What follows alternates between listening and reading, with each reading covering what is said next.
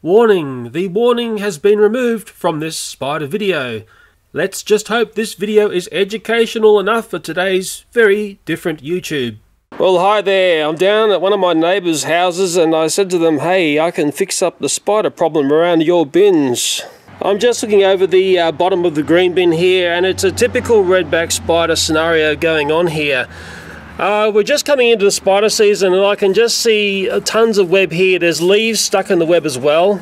It's going to be hard to see the spider during the day. They're reclusive. It's probably living somewhere up here. This type of scenario is extremely common in Australia around council bins. And if I go up to the top of the bin, we'll also see the webbing. I think it's a different type of spider. It might be a black house spider.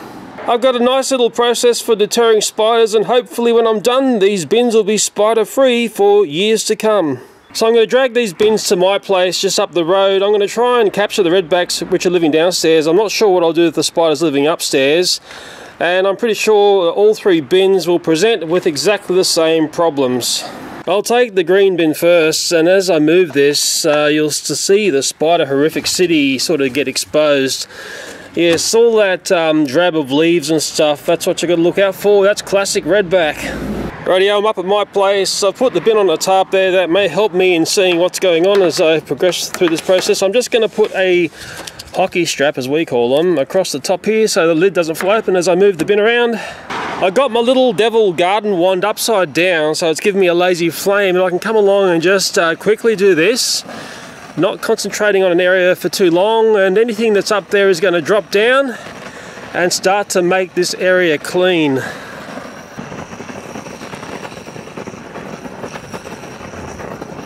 I may even find there's no spiders here, it might have just been the webs left over from last year. This is a little flame device that I use. It's for getting weeds in the garden. It's just a baby version and you spin it upside down and you get that lazy flame like that. Uh, but there is another way of cleaning out the underneath of the bins. Apparently water blasters do a pretty good job as well. This would be what uh, the more normal people would use, I dare say, yeah. That's really cleaning it out. Woo!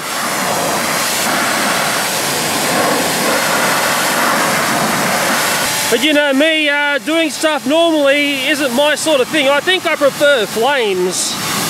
I come back to the green bin and I'm going to try and retrieve the redback spider that may be living up there. I'm pretty sure it's there. I've got some gloves, I've got a torch, I've got a tub here with some silicone spray. I'll hopefully explain that soon. I've got a rubber chicken in case I start to panic. I've got some tools here to try and catch the spider and if it really starts to fall apart, I've got my spider spray and I've also got a little spritzer of water if the spider's playing too hard to get. I'm going to start by removing this clump of leaves and it's going to have the redback spiders uh, web and nest and stuff here. Uh, we're right close to the spring equinox in Australia and I don't think we're going to find many male spiders because they only live uh, apparently for six months. I need to be educational here, don't I, boys and girls? Uh, I think I'll find there'll be a female recluse up inside the bin here but I just want to get rid of a lot of the clutter here so I can see what I'm doing. We've had some cracking hot days already. We've already had a couple of days over 30 degrees in Sydney which has caught a lot of people by surprise but we've also had some very cold mornings still. So it's that sort of time of the year where you get a bit of everything. That's probably best if I get the bin over on its side so I can really see what's going on up there. Whoa! So what do you reckon? Do you think there'll be a spider there? I'm pretty sure there is one there because I noticed the web under this bin kept being reset every couple of weeks.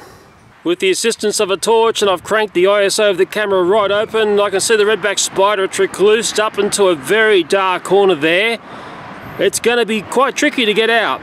As for if there are any other redbacks up there, I'll just go along here. You can see, hopefully up in those very dark corners, I can see another one there. Oh, crikeys.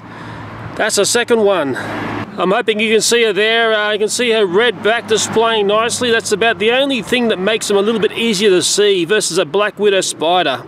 Well, that's the second red back and just traversing across any further. Crikeys, will there be a third one? I mean, who knows? That's scary, isn't it? I've just got the camera back onto some normal settings and if you're looking at this bin naturally, well, that's what you're presented with. They're very hard spiders to see. They're very good at reclusing into areas where, well, you can't find them. This is going to be very tricky to deal with. Oh, get out of it, rubber chicken. You're useless. That's never going to help me here. I made this tool recently uh, to get a redback spider out of Mrs. Cow and I'm actually thinking I might use mum's old brush that we used to get spiders out of the home for many many years. I'm going to try and get the spider out uh, using this. I've just noticed another redback here. It's a very small one and it's around that circle there. It's a juvenile. I'm hoping I can just pick it up onto the brush here. Yes, and I'll get it over to uh, that there. I've got it. Okay, that's prisoner number one, but that's only a baby. I've actually just changed my mind because I can see the redback spider has moved its legs and I'm going to use the tweezers and if I'm really fast, I'll get her. I got her. Okay, that's prisoner number two. Oh man, she's a beauty. I've got another one in there to get. Oh, my problem here is that if the spider decides to recluse down into behind the axle here, it's going to be near impossible to get out and it'd be a case of using flame or spider spray. It's extremely hard to see up here. This spider is very reclused into the corner. If I grab a leg, like the other one, I might be lucky I've got her. I've got her. She's frailing a web behind her. Whoa! Just stay down there. That's the problem. They, they leave a web behind them and then they try to escape again. Hopefully that web's gone. There's your classic three generations of spider there. We've got baby spider, which is there. We've got uh, little girl, little teenager, and we've got big, big mama. She's the one you want to get. They're really starting to wake up now. Ooh, they're having a little talk to each other. And no matter how much they try, uh, they will not get past that silicon spray and be able to climb out of this container. Uh, that's what I'm hoping.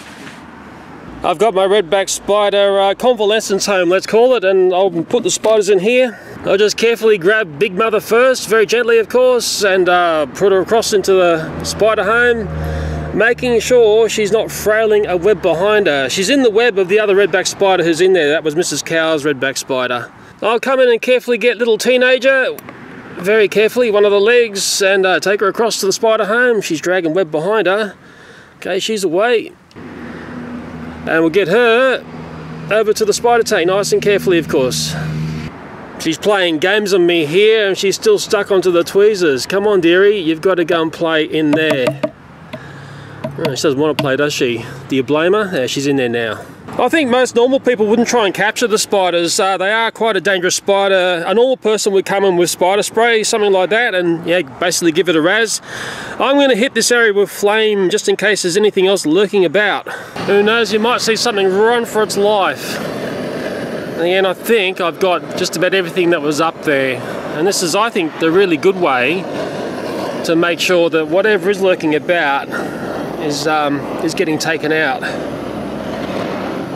I can still see it's pretty messy in here. I might have to get the water blaster onto this. I think the only thing that I didn't see, which I thought I might have seen, was a couple of redback spider egg Mind you, we have just come out of winter time and normally they don't do that sort of activity in winter. Mind you, the redback spider that was up inside Mrs. Cow uh, showed to me that yes, they can lay egg sacs in winter. Anyway, I'll just clean this bin off and then I'll move on to uh, the next bin to see what's going on there, eh? Just as I was doing the wash down to that bin, I saw a spider um, jump for its life there. It's down there and I'll just pick it up very gently, of course. And I'll get it into the spider home. Oh, I think it's a wolf spider. I hope I'm right there. Okay, and uh, into the little home it goes. Nice and gently, of course. Oh, it's in the redback's web there. Okay, I moved on to the red bin. Uh, the top of it was pretty clean. Underneath is a different design to the yellow bin that we've just done, and I think the redback spiders uh, prefer the yellow and the green bins. If I look really carefully here, there are juvenile redbacks. I'm just pointing them out. It's just dropped down. It's certainly alive and well. It's a bit fearful of me at the moment. It's on the tweezers now. Oh, maybe I should take advantage of that and get into the spider tank. I just do a bit of a dodgy brothers transfer here. The spider is on the tweezers and I'll get it over to the spider tank. I hope it's in. I hope. I'm having a good look around this bin here. Uh, a big mama's not shouting out at me. To me it feels more like juvenile central. Yes, I really can't see a big mama yet. I'll come in and hit with a bit of flame and that certainly is going to sort out the girls from the girls because the men won't be here yet, I can tell you that. I can't really see anything uh, dropping down. That looks that scary and spiderific. I think it was just um, the play area for the babies to, um, you know, hang out and get ready for summer. I'll do a proper clean with the high pressure hose here. Yellow bin's the final one to clean up and like our yellow bin it's showing all the signs of being spider horrific. I've got onto my bit of tarp and I'll just push the bin over so we can see what's going on underneath. Yow! Let's take a look at the gory gory details and learn about these spiders' environments. Uh, there's the web and the stuff that gets caught up in the web and I'm just putting over my little safe box there. I'm taking a look over here now. Well, the first thing I can see is one of those black beetles. That's one of their favourite meals. Uh, I could only assume there is a redback up here somewhere. Maybe I'll do that little iris trick again. I'll clear out some of the web first and see if I can see her. Okay, the ISO cranked right open. I'm trying to see if there's a spider there. Maybe when it's up on screen I'll see it, but uh, as I traverse along there, I can't really see a redback spider yet, unless, is that one there or not? Hmm, or is it a shadow of something? It's very hard to tell, you know, trying to find something black in a near black environment. I'm just looking at the wheel here again. I've got that um, ISO cranked. I've got a torch under the camera as well that's hopefully assisting me. But you know, black spider against black wheel, very hard to see. This is the other wheel and uh, I've had a bit of a look already. I can't see the spider jumping out of me. It's not being very obvious. They are really hard to see when they're uh, reclused up here. That is, if they're there. I think this may be an old home. Uh, the other thing I can't see here, which is an important thing to find, is redback spider egg sacs. Man, I'm seeing all the things that they eat there. So obviously there's been a redback spider there, and obviously I'm seeing the web, but um, I'm not seeing the spider. I'll just get rid of a lot of this stuff here that burns, and I will put a flame over this, and we'll see what comes running for its life. Okay, keep an eye out for anything that comes running. It's black and it's got eight legs and a red stripe. I think we're going to find nothing. That's my guess here. No, I'm not seeing anything uh, scampering away. It, um, it's like an old home, I dare say. They might have moved to that uh, green bin, which seemed to have all the spiders in it. And I'm having a really good look here and I'm pulling everything out that's been crispy critted and I cannot see a spider here. Mind you, I'm pretty sure I did say that when I moved this bin, I didn't see any fresh set up web. So yes, there had been a redback spider here at some point, but at the moment it's uh, clean. So like a normal person, I'll get the high pressure blaster in there and um, really clean it up for the final stage. Just as the bins are drying out waiting for the final process, it might be very wise to do some spider control education. I live in Australia which is in the southern hemisphere. Our seasons are flip-flopped versus people in the northern hemisphere. As I'm making this video it's at the end of September, we're very close to our spring equinox. So we're headed into summer, most of our audience will be heading into winter. Uh, the spider apocalypse for me a couple of years ago happened around Halloween. So Halloween for me is about five weeks away and our spider season really kicks off in October, November, December, January, February and it starts to tail off in fall here, or we call fall autumn. I've got times when I come in and I take out the redback spiders by burning the areas, uh, but I've got to be careful because if there's a total fire ban, I can't do any burns. Redback spiders tend to be fairly recluse in winter time. We've just come out of that. I feel it's very important if you find a spider during springtime and take it out, it's going to save a whole world of pain because these spiders breed harder and faster than rabbits and they breed in huge numbers. This is the product I'll be putting onto the bins to uh, stop the spiders from setting up home. It seems to stop all spiders from setting up home. I purchased this at Aldi, the cheapest that I've got it. It's that price right there. And because I've done this process before, you actually need a fair few tins to do a couple of bins. In fact, let's take a look at a bin that I applied lithium grease to at August last year. I've just got my yellow bin upside down. Let's take a look underneath here first.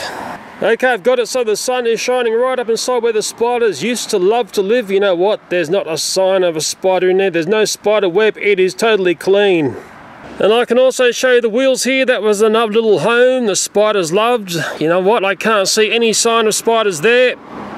And of course, the area where many spiders love to live, all different sorts, underneath the lid, there is not a sign of any spiders. I can't see any spider web either. It's been a really, really successful way at stopping the spiders from playing games. Okay, that was my bin. It's lasted a year and I think it'll go on for many more years like that. Let me show you something else I sprayed with lithium grease. Ah! Redback spiders love to set up their home in pots like this. This design here is almost perfect for them. They'll set up there, they put their drop down lines down to the bottom. They love their handle area. We had a redback spider here at the end of last spider season it was up under there. It was actually a bit of a nightmare to get out and take out. I think I used a flamethrower in the end. And I put the white lithium grease here. And you know what? I know there's nothing here. There's no web. I can safely put my hand under here. And the best thing about this process is, sure, you can see it, but man, the spiders never come back.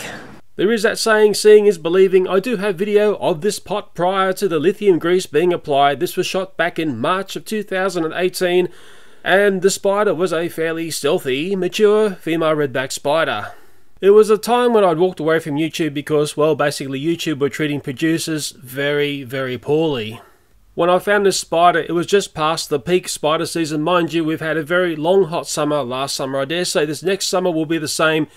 And it's also been very dry. It's probably the perfect conditions for these spiders to breed up huge numbers.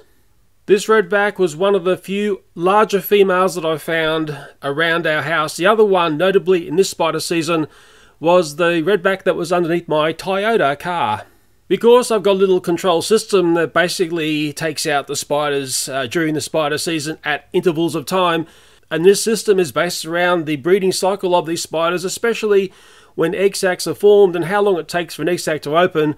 I really like to get the spiders before I see an egg sac and in this case in this pot, that's what I found here. This female had only just moved in here but she had not laid up any egg sacs. One single large breeding female redback spider can generate a clutch of spider sacs in a spider season. From that clutch of spider sacs, and there may be four or five of them, there could be multiple thousands of deadly redback spiders. It really is a stuff of spider nightmares, but what isn't a nightmare is the white lithium grease is a great way of inhibiting these spiders from setting up their homes. If they can't set up their webs, well, they're never going to feel comfortable in living there. It's just a nice, cheap, easy way to make things safe. So that was that pot there, and that was a spider from last year. I did do a video of it, whether or not I ever put up on YouTube, I don't think I have done so yet. Now what had me very perplexed was there was another pot here which was in the same sort of scenario as in temperature, the same part of the garden. It never developed a redback spider. But it wasn't until I moved this pot I started to realise, oh, there's a little enemy underneath this that the spiders can't stand. Let's take a look. And I'm going to have to move uh, quickly here or else I'm going to be bitten, I dare say. Okay, underneath this pot, guess who is here? Okay, have a very careful look on the ground of what's going on there. Can you see something there that would stop a redback spider? One thing that I've noticed is if there is an ant nest underneath a pot, there is a very, very good chance the redback spider can never set up a home uh, on that pot. And I did a video about these pony ants versus the redback spider, but oh dear, oh dear. It was all too much for YouTube to comprehend, wasn't it, hey? But that's a little observation that I've made. Let's keep the ants our friend. I'll return the pot to where it was. Ants definitely stop these spiders. Okay, the bins have been sunbaking out in the sun for quite some time now. They've got to be nice and dry for the next process. Let's come in and get the white lithium grease in there and stop them spideys. Okay, I've put uh, the first bin up on a trestle here, so I've got a nice working height. I think the secret to this process is to be nice and thorough, to make sure you get inside these areas here. There's no use just spraying one side, you've got to get that inside area as well. And up the back here again being thorough, making sure you get into those spokes on the little wheels there, around the axle and all around the base there. That's the product there. It's not an ad for anyone. No one speaks to me. I spoke about Aldi before. They don't speak to me. You've got to shake it up before you use it. And I'll come in and do the base here around the axle. You can see that it sprays on white and I'm going to put lots on. It's the sort of thing you're not skimpy with. And I think if you do this properly, well, hopefully you won't have to do it for a long time again. When you're doing the wheels, make sure you get both sides of those spokes because it's sort of got a, a piece there which presents a double side. And when you're doing the top of the bin, yeah, make sure you get right under there. If you're a little bit messy, you can come along and clean up the excess, but hey, it's only a bin, isn't it? It's nothing that special. On these bins on the front face at the top, there's quite a complex pattern in there and it's really important to get a lot of white lithium grease in there. I nearly said silicon something, didn't I? Have I said silicon before in this video? most probably. But that's a really, really important to really, you know, don't be lazy about applying the stuff here. You need stacks of it in the front. Okay, hopefully that's done. I've done it nice and thorough underneath here. Looks nice and white, doesn't it? Around the wheels is done as well. If you're wondering how much lithium grease that I put onto that bin there, well this can is nearly empty and I can pull this red bin down and move on to the next bin. Yeah. I'm just doing the final touches to the green bin. Okay, the green bin is done, I think. Wasn't this the one which had all the spiderific action going on? Yes, it was up there, wasn't it, hey? Okay, the job is done and I guarantee these bins will remain spider free for a long time to come. Now how much of that white lithium grease did I use to do these bins? Well I basically emptied those two tins there and this tin here is well three quarters empty. Let's call it I used three tins. The normal price of that stuff there in Australia, it hovers between 7 to $8. Don't pay $10 for it, it'd be too expensive. So it's like, what, let's say a $22 job to do three bins. Well, like a good boy, I'll take the bins back to where they belong, back to the rightful owner. You know, now I see this area in the afternoon, I'm starting to really understand why the spiders liked it here. These redback spiders are a little bit picky about where they live. If they find somewhere warm and somewhere recluse to stay in the warmth, it's the perfect home. And yes, what you see on screen there is the perfect redback spider environment. Nice and warm and some nice hidey holes to go and live in. Well, I'm sorry to inform the Redback Empire, those days are now over. Well, it's one thing to fix up one neighbour's bins, the only trouble is another neighbour has bins with redback spiders. Mrs Cow's been very quiet since she had her encounter with the flamethrower. It may be a great indication to how hot it's been. I've set up the flycatcher already and I've already caught a stack of great big blowflies. Yuck! That's what happens when you have a couple of days that crack up to 30 degrees in Sydney way too early in the season to have this many flies. Let's take a look inside the spider tank. That's the Mrs. Cow Redback Spider. She laid up a second egg sac on the 19th of September, today being the 21st of September. By my rough calculations, that egg sac will be due to open around Halloween time. The egg sac from Mrs. Cow was brought up onto the metal structure, but it is yet to produce any spiderlings. I've got a black house spider in there and some curious millipedes. Little plants are starting to grow inside here as well. The little baby redback is in there, settling in, and Big Mother is just behind her. Little jumping spider there, playing a very dangerous game. And the little teenage redback spider hasn't quite found a home yet, but I'm sure she will. There's a cockroach woody type thing that Mrs. Redback Spider had the other day. Yeah, she loved it. And I think that spider there, uh, I think it's basically stuck between a rock and a hard place. I've got a feeling it's passed away. Although it's very hard to tell on camera here, but this spider tank is about double the size of the one I used in the redback spider study. Putting that metal structure in there has proved to be a very good idea because what's happening is the redback from Mrs. Cow has made up a web structure completely within uh, this metal frame here. There's no web uh, traversing out to the glass at all. And the problem I had with Spider Tank, well, one, when I did my redback study was the redback spiders love to set up their web on the corner of the glass here. And I think what will go on in here is, I can already see Mrs. Cow has taken this corner here. Uh, the redback that I caught today, the big one from under the bin, will take maybe this corner here. And the little sister, which is down here, but she hasn't quite found a home, will probably take another corner. But really, who knows? These spiders uh, do have a mind of their own. I can't tell them where to live. It's not really Spider Tank 2.0 because the sort of tank I want, I want to try and get away from these hard edges. I did put the lithium grease on the lid here. I think I like it better than Vaseline for some reason. Don't ask me why. And I will get this back on. It's sort of weird with these spiders. Uh, they almost make the perfect pet. Uh, the big trouble with them is they are very dangerous. They're very venomous, and you can get very sick or be killed if you are unfortunately bitten by one of these spiders, and that is the Australian redback spider.